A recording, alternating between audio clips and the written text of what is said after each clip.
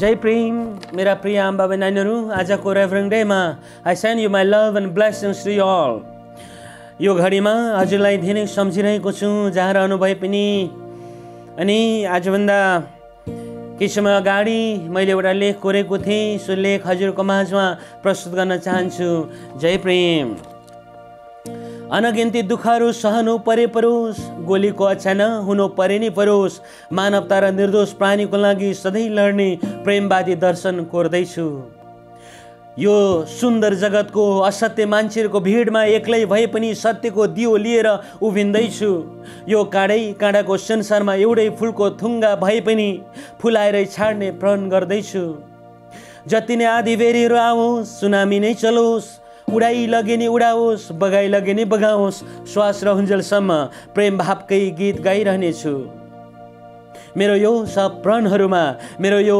सब साहसहरूमा ऋतुले साथ नदिए पनि यो नै त हो मेरो स्वभाव यसबाट म हल्लिन सक्दिनँ चलिसकेका पाइलाहरू पछाडि सार्न सक्दिनँ।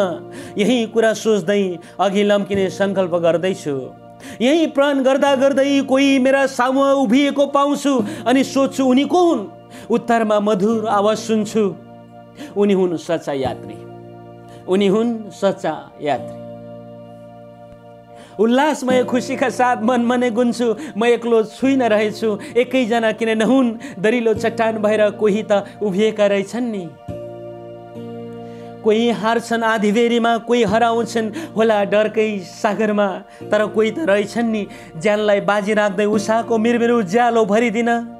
नयाँ र सुनौलो इतिहासको सुरुवात गरिदिन। विभिन्न बाधा र अर्चनाको बावजुद पनि भोकै तिर्खै अनि दुःखको आँसु पिएरै पनि अघि लम्किन साहस गर्ने उनै महान यात्रीहरूलाई प्रणाम चढाउँदछु।